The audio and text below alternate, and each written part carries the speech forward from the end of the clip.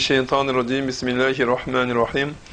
إن الحمد لله نحمده ونستعينه ونعوذ بالله من شرور أنفسنا ومن سيئات أعمالنا. من يهده الله فلا مضل له ومن يضلل فلا هادي له. ونشهد أن لا إله إلا الله وحده لا شريك له. ونشهد أن محمدا عبده ورسوله. أما بعد السلام عليكم ورحمة الله وبركاته. قرمت قزاقستانلىق مسلمان دار الله سبحانه وتعالى шексіз мадақтар болсын пайғамбарымыз мұхаммад саллаллаху алейхи уассаламға дүрет сәлемдер болсын. Сіздеріміздерді осындай күндерге жеткізіп қойғанына еліміз егеменді болып алла субханала тағала осы біздің ата бабаларымыз армандаған ата бабаларымыз қанша жылдар үміт еткен күндерді сіздеріміздер жеткізіп қойды. Міне егемендігімізге де алла субханала қаласа биыл жиырма үш жыл толайын деп жатыр. Бұл алланың рахметі. Осы жиырма үш жылдық егемендігіміз қарсаңында біздің қазақстаннан биыл иншалла қажылыққа бес мыңнан аса адам қажылыққа барайын деп жатыр иншалла. Соның бірі мына біздер әл мәруа қажылық компаниясы. Біздер оңтүстік қазақстан облысының үш қажылықпен айналысатын компаниялары бар. Олар біздің қажылық компаниясы әл мәруа қажылық компаниясы одан кейін сембекова одан кейін ордабасы деген компаниялар. Солардың ішінде биыл альхамдулилля ең көп квота алған біздің компаниямыз 270 ордабасы жер 220 алған болса сембекова 200 ғана квота алып отыр. Бізге 270 квота берілді альхамдулилля. Біздер меккеден мединеден қонақ үйлерді алып келдік иншалла. Алла жазса түрік әуе жолдарымен 21 октябрь күні алматыдан жолға шығамыз. Біз бірінші баратын жеріміз алматыдан стамбулға стамбулдан мәдинаға барамыз. Мәдинаға бару өте бір жақсы қолайлы. Не үшін десе мәдинадан аэропорттан әуежайдан шығу өте жеңіл екі сағаттың ішінде қонақ үйде боласыз шығуыңыз паспортный контроль бәрін санағанда енді жиддада болатын болса жиддада ең тез шыққанда қонақ үйге барғанда жеті сағаттан он сағатқа шейін барады созылады ең тез шыққаны сол себептен мынау біздердің иншалла қажылық компаниямыздың осы 2014 жылғы қажылығы алла тағала қабыл еткен болсын. Бүгін біздер мынау шымкент қаласында теріскей мөлтек ауданында ықылас қарилы орталығындағы офисімізде осы жерде біздер қажыларымызбен кездесу өткізіп сол өздеріміздің программаларымызбен таныстырдық.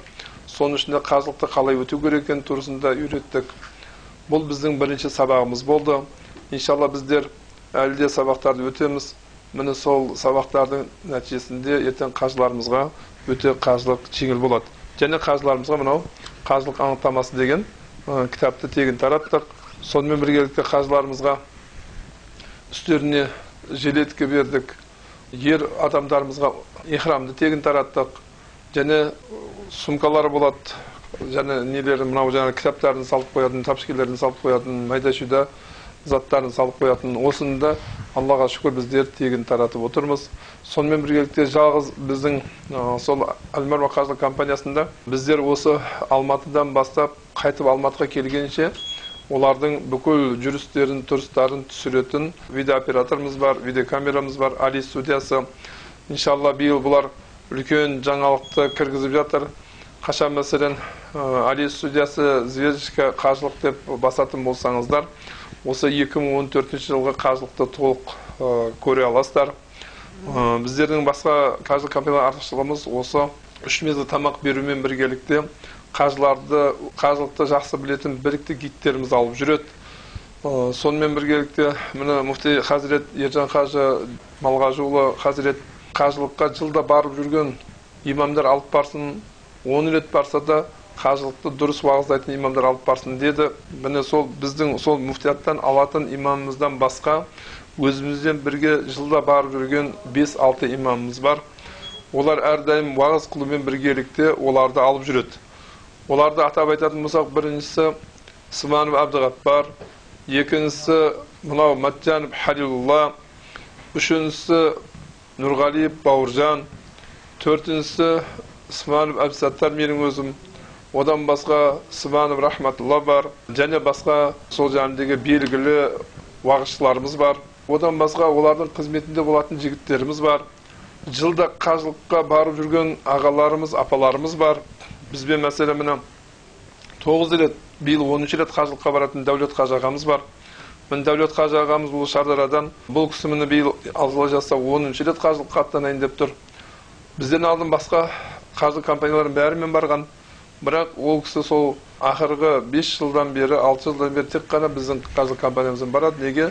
Сол қажыларға қызмет еткен еңбегіміздің нәтижесі болған қалінде соның үшін иншалла біздің қазақстандық бүкіл компанияларға қажылық компанияларға айтарымыз қажылық қажылық амалдарын дұрыс орындап келуін алла тағала нәсіп етсін.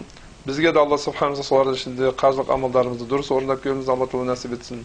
Алла субханала тағала аспанымызды ашық елімізді тыныш егемендігімізді қияметке шейін болуын алла тағала нәсіп етсін елбасымызға елбасындағы азаматтарға дін басымызға дін басындағы азаматтарға алла субханала тағала ұзақ өмір зор денсаулық берсін иман исламда қадамдарын нық қылсын еліміз осындай тыныш болсын әрдайым ауызбіршілік болсын وآخر دعوانا أن الحمد لله رب العالمين وصلى الله تعالى على خير قوله محمد وعلى آله وأجمعين السلام عليكم ورحمة الله وبركاته биылғы қажылыққа мына жаңа үлгідегі осы паспортпен бару керек. Бұл жаңа үлгідегі паспортта міне ішінде де өзгерісі бар.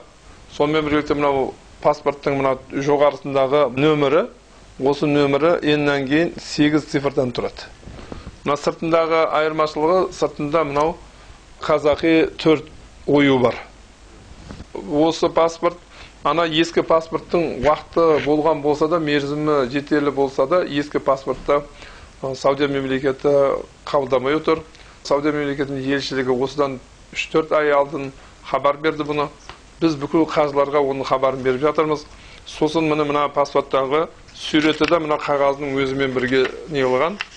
Алдыңғы паспортта бұл мәселе мына жерде бас жағынан ашқанда екінші бетте болатын болса міне.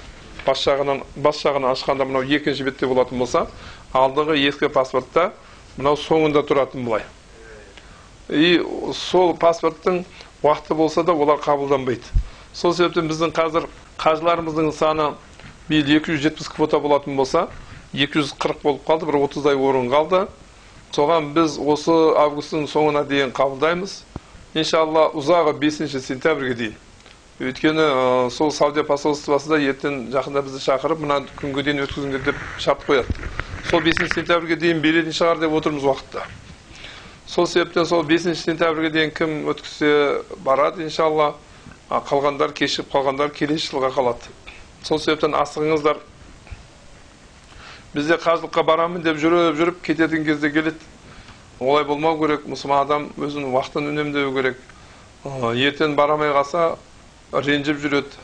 Ол ренжігенмен ол ешқандай пайда болмайды. Сол себептен осы паспорттарыңызға көп көңіл бөліңіздер сонымен біргелікте вакцина деген бар. Вакцинаны біз алдыңғы нелерімізде де айттық. Интервьюлерімізде вакцина салдырыңыздар. Сосын мынау кімнің мемлекеттің алдында қарызы болатын болса мемлекет оларды шетелге шығармай қоюы мүмкін. Сол себептен сіздер мынау халыққа қызмет көрсету орталығы бар. Оны орысша сон дейді центр обслуживания населения деген.